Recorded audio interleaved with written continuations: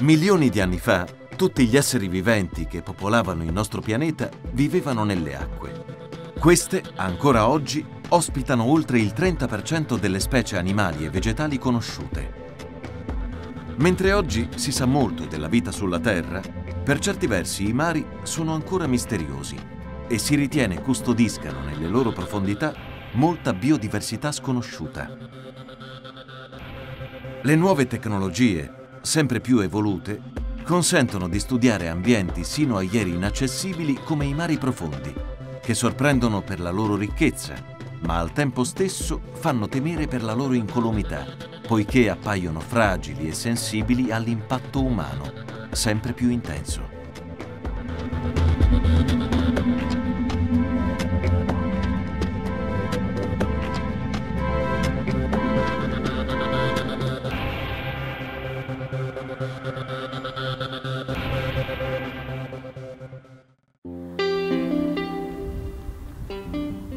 L'assessorato del territorio e dell'ambiente della Regione Sicilia ha istituito l'Osservatorio della biodiversità siciliano.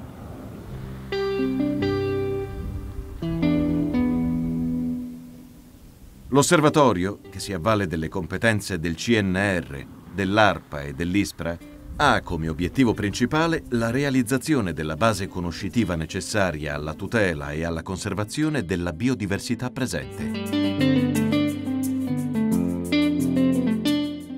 L'osservatorio è finanziato dal Fondo europeo di sviluppo regionale e le sue attività sono in sintonia con la strategia nazionale per la biodiversità.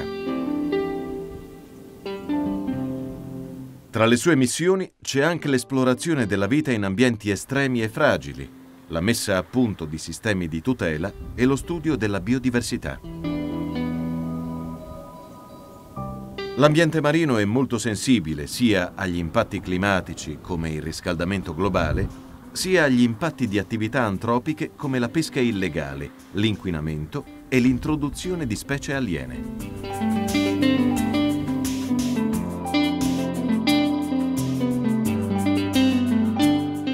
La banca dati realizzata dall'osservatorio censisce le specie animali e vegetali che sono state protette o ritenute vulnerabili dalle convenzioni internazionali e che vivono sull'isola e nei suoi mari.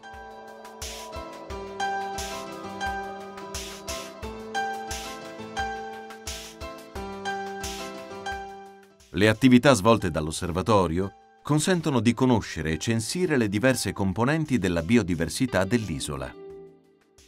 Lo studio della biodiversità degli ambienti marini e terrestri consente anche il monitoraggio della salute degli ecosistemi, e rappresenta la base conoscitiva indispensabile per supportare la pianificazione, la programmazione e la gestione territoriale e ambientale nella regione siciliana.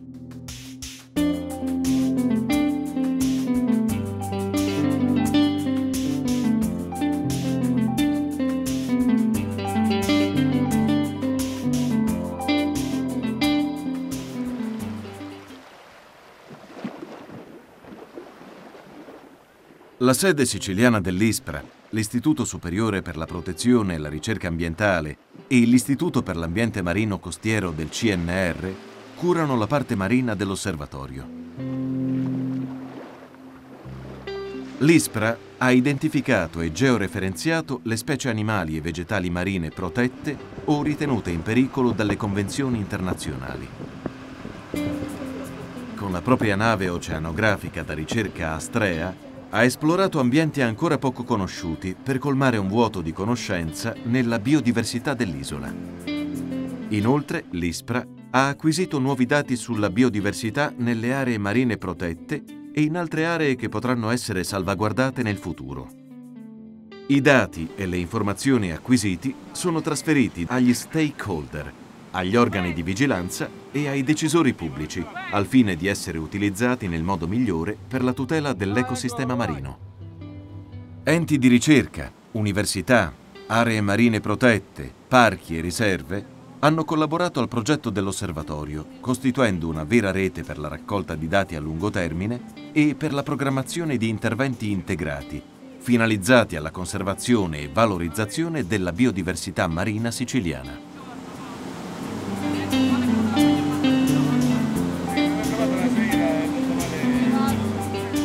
La creazione di un sistema di cooperazione fra questi soggetti sarà un ulteriore contributo dell'osservatorio affinché questo rilevante patrimonio naturalistico, culturale, scientifico ed economico di estrema rilevanza per l'ecologia dell'intero Mediterraneo non venga più minacciato. Per colmare le ampie lacune di conoscenza oggi esistenti sulla biodiversità degli ambienti marini estremi, come i vulcani sottomarini delle isole Eolie e i bassifondi remoti dello stretto di Sicilia, l'ISPRA ha condotto quattro campagne di monitoraggio e di ricerca con la nave Astrea, che è dotata delle più moderne strumentazioni per le indagini sottomarine non invasive.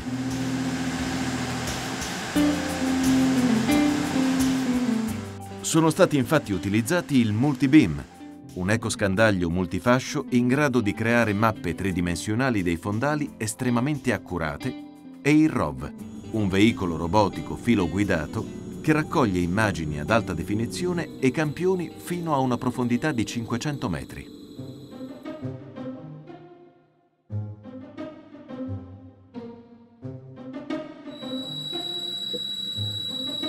Lo stretto di Sicilia, spesso chiamato impropriamente canale, nasconde una sorprendente biodiversità custodita nei numerosi bassifondi detti banchi, finora pressoché sconosciuti dal punto di vista ecologico.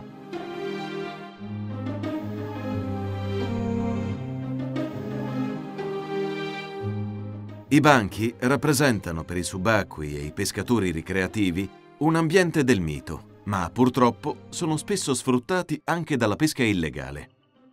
Tra tutti i bassifondi dello stretto di Sicilia sono stati scelti per gli studi dell'osservatorio quelli più vicini alla costa siciliana, cioè il Banco Avventura, il Banco di Pantelleria e il Banco Graham.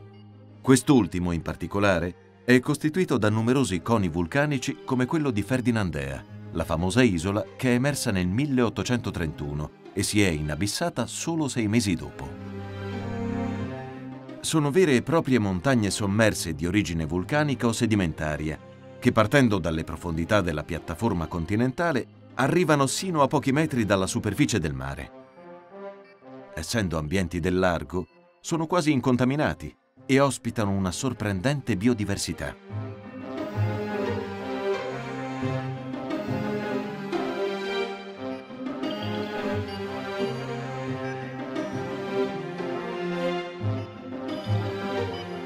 I banchi dello stretto di Sicilia rappresentano per certi versi delle aree marine naturalmente protette. Almeno questo è avvenuto sino a oggi, essendo queste al riparo dall'impatto antropico come la pesca, l'inquinamento e il turismo, e anche dalle influenze della costa come l'apporto terrigeno e i nutrienti trasportati dai corsi d'acqua.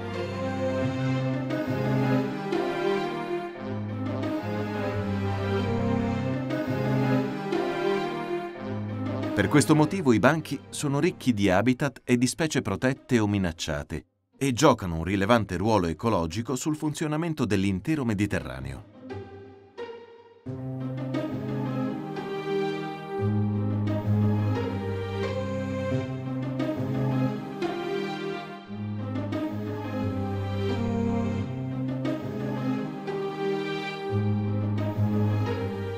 20 miglia a nord-est dell'isola di Pantelleria sorge l'omonimo banco. È un bassofondo molto esteso e poco profondo. I suoi fondali ospitano grandi distese di alti sargassi, tra cui si aggirano cernie, ricciole e saraghi.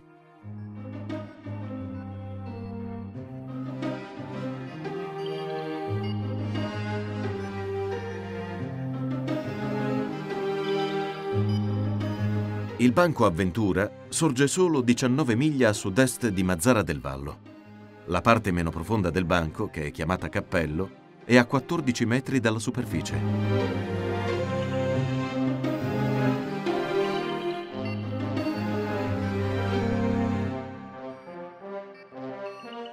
Il robot sottomarino dell'ISPRA ha consentito di osservare per la prima volta in Mediterraneo decine di aquile di mare in chiaro atteggiamento riproduttivo.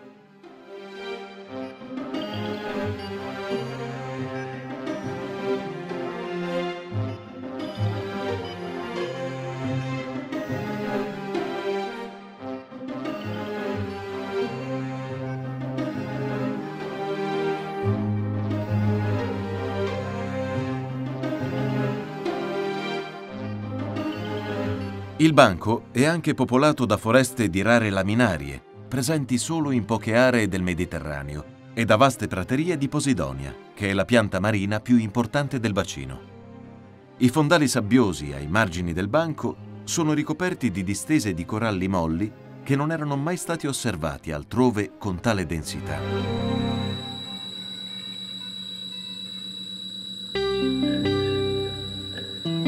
Il Banco Graham è invece costituito da numerosi edifici vulcanici, caratterizzati tutti da una biodiversità ricca che però è diversa per ognuno di questi. Se le parti più superficiali, intorno ai 50-70 metri, sono ricche di gorgonie, nelle parti più profonde, a partire dai 100-150 metri, si trovano in maniera abbondante i rari coralli neri, ascidie e coralli molli. Nelle pareti più protette del banco vive il corallo rosso, che qui ha colori particolarmente accesi, il famoso corallo di sciacca. Tutta l'area è rifugio delle cernie di Haifa e delle cernie nere, che si muovono imponenti e indisturbate.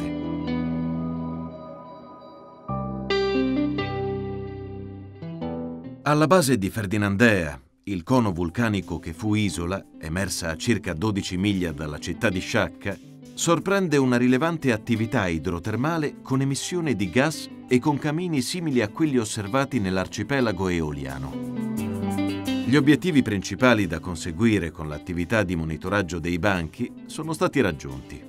È stata realizzata una mappatura dei banchi attraverso il multibeam, e sono state ottenute carte geomorfologiche e bionomiche georeferenziate.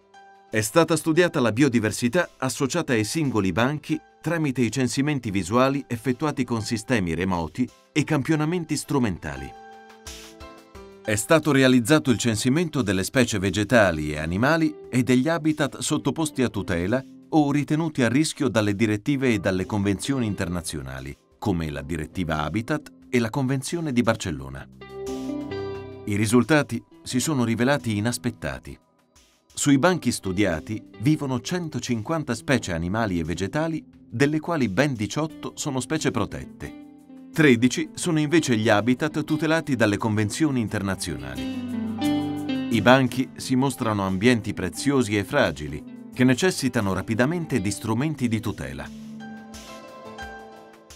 Poco si conosce oggi anche della biodiversità in aree vulcaniche con idrotermalismo attivo.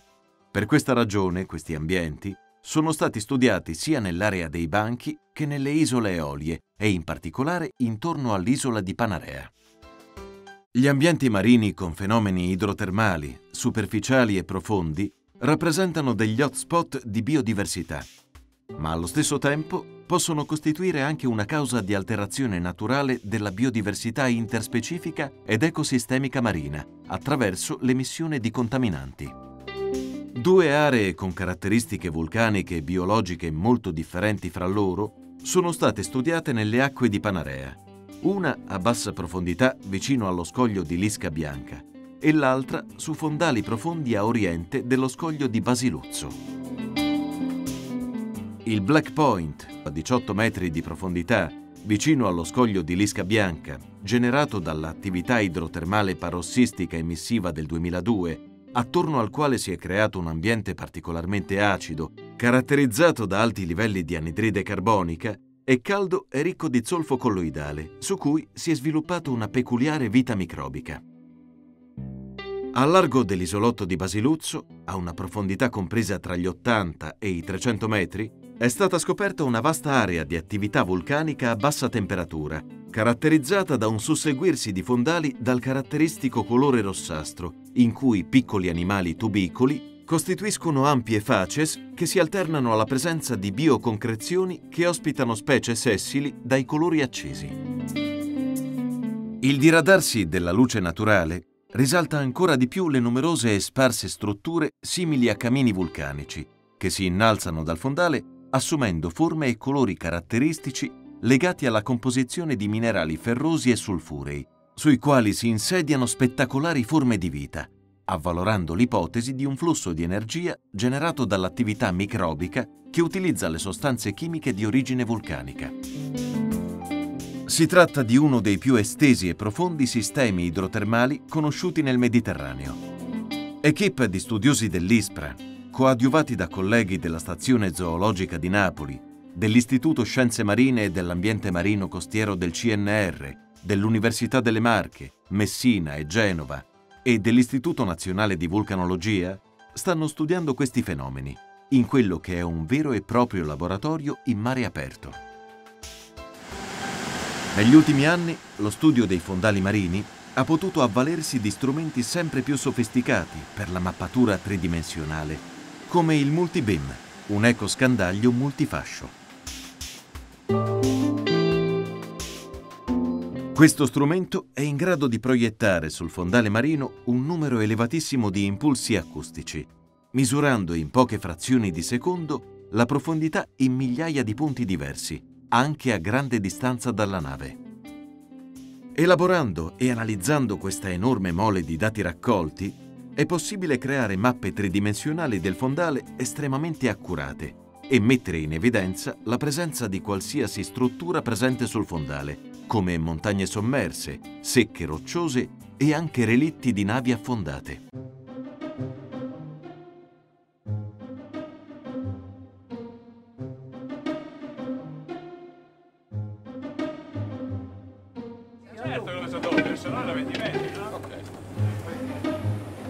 Stata utilizzata una camera bentica, un dispositivo di forma cilindrica che posizionato sul fondo permette di misurare tutti i flussi di energia tra il sottosuolo e l'ambiente circostante. Questo dispositivo consente di prelevare in automatico campioni indisturbati di acqua, che verranno poi analizzati in laboratorio. La camera è dotata di sonda multiparametrica per il monitoraggio in continuo dell'acqua confinata e in particolare per rilevare dati di temperatura, pH, conducibilità, ossigeno disciolto e H, potenziale ossido riduzione e salinità.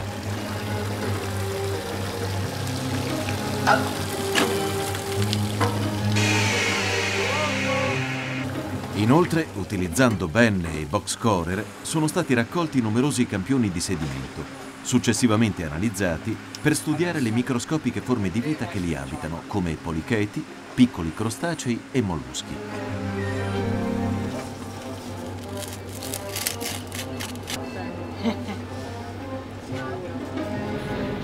Gli altri vanno uguali, quindi dovrebbero essere 9, come questo.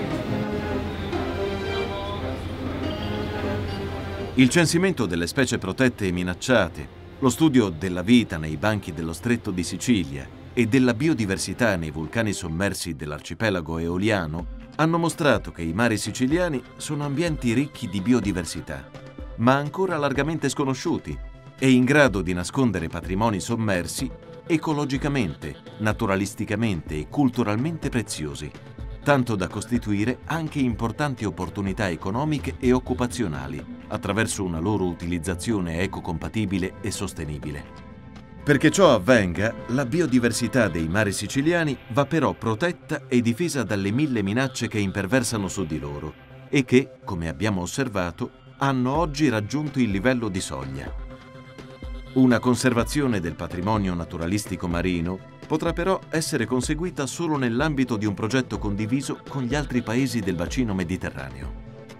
La cooperazione internazionale, che si può sviluppare sia nel campo della ricerca scientifica, sia nelle strategie di gestione di tale patrimonio, assume quindi oggi un ruolo fondamentale affinché le azioni di tutela intraprese possano essere ancora più efficaci e il valore della biodiversità possa essere preservato in modo duraturo.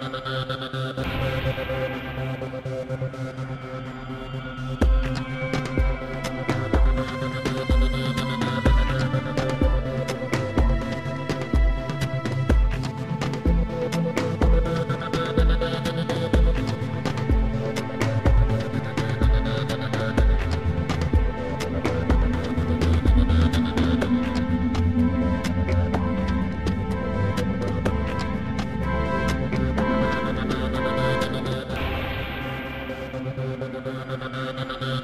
you.